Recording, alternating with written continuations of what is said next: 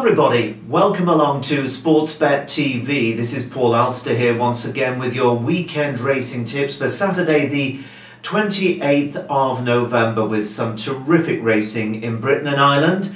Uh, Newbury, Newcastle, they're the two uh, feature cards of course, but there's plenty of other good action, uh, the length and breadth of the uh, British Isles. Now last week I made the point that um, this service, we're not looking to tip short priced horses and uh, we're always trying to find the value and sometimes it works and sometimes it doesn't. And after a couple of quiet weeks, we roared back to form and uh, in great style too. I hope you were on, I know a few of you were, and you took the 12 to 1 recommended about Barnard Dawn over at Naas in the Brown Lad Handicap Hurdle.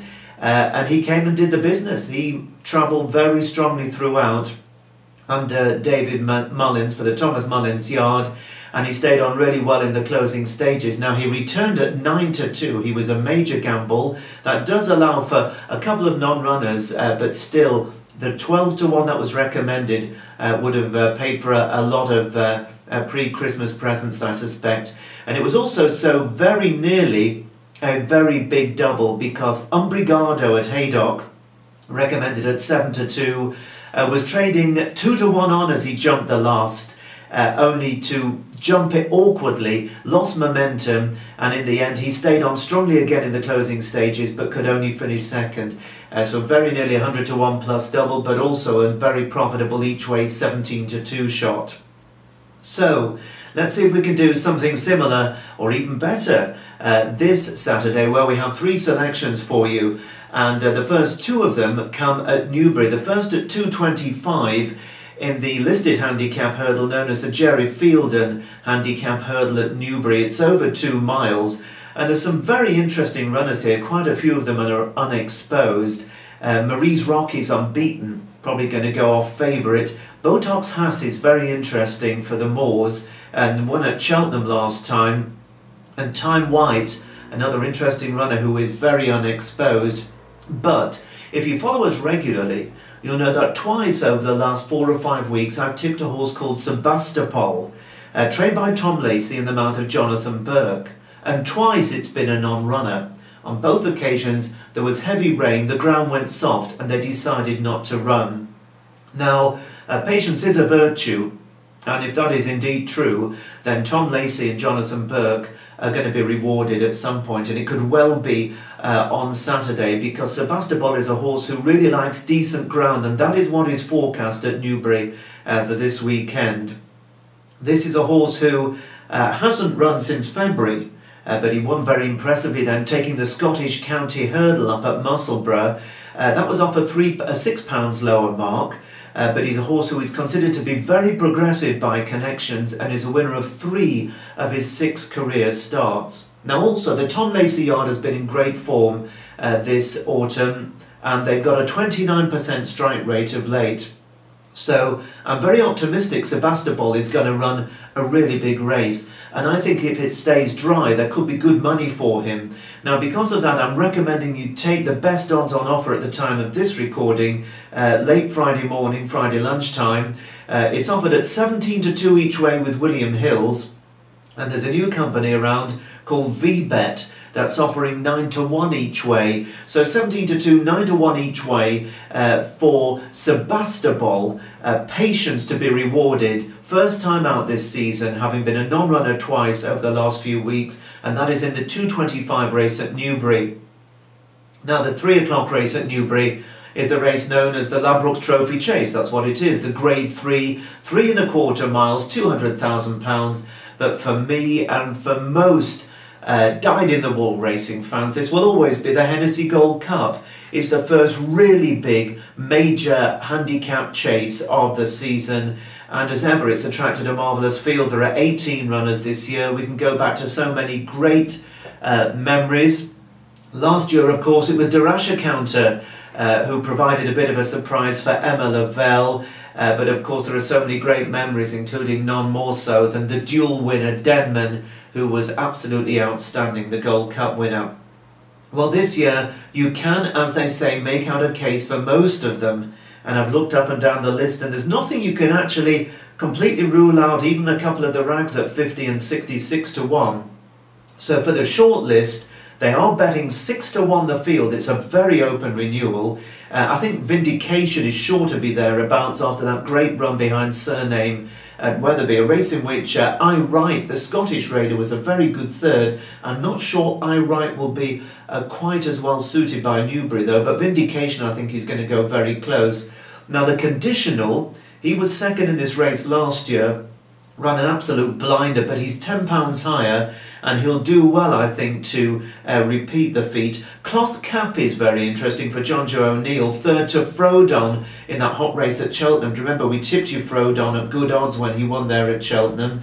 And Beware the Bear for Nicky Henderson was fourth in this race last year, and he's running off the same mark and he's uh, hasn't been out yet this season, but that for him is a positive because he's a horse who goes really well when fresh. So Beware the Bear is interesting, and Potterman, who was beaten by that much in the Badger Beer Chase at Wincanton recently, is another interesting runner for the Inform Alan King.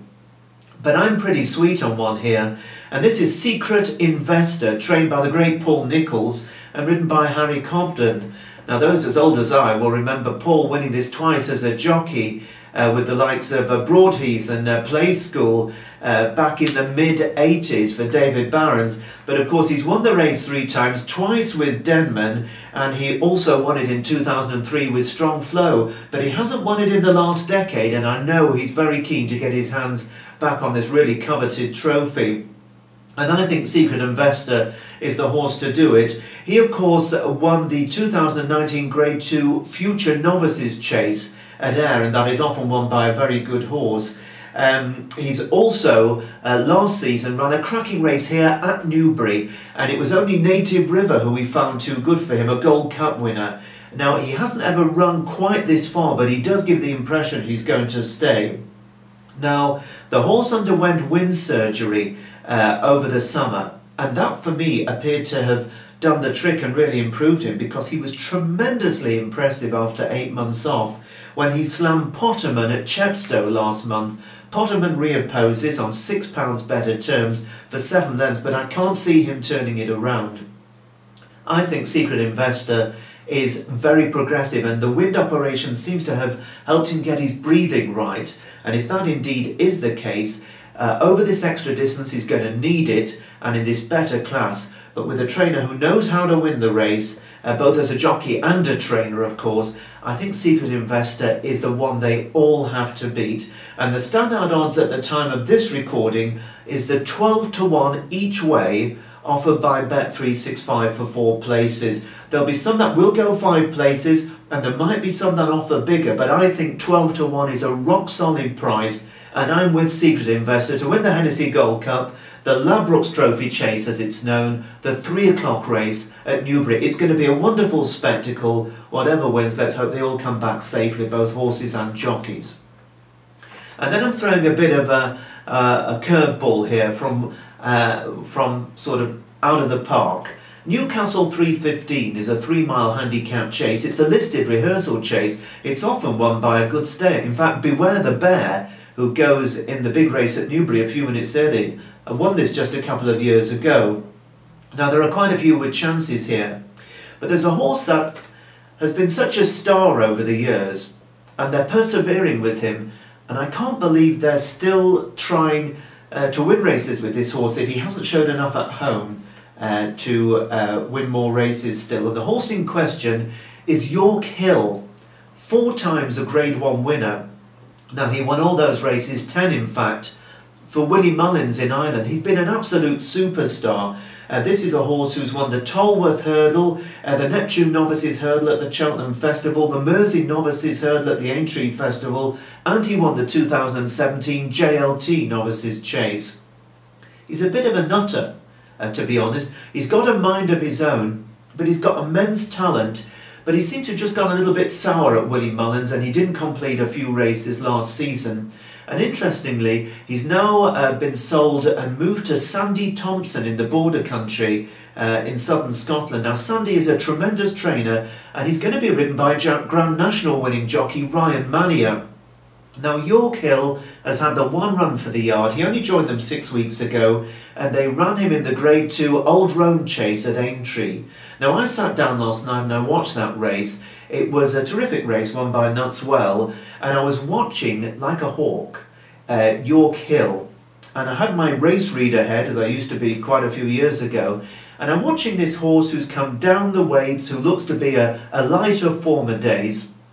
And for the most part, he travelled as if the ability is still there, and even though he was towards the rear of the field as they jumped the fourth last, he was no more than five or six lengths uh, off the lead in a tightly grouped field. But all of a sudden, he stopped, and he stopped to nothing and dropped away. Now that's normally the sign of a horse choking or having a breathing difficulty.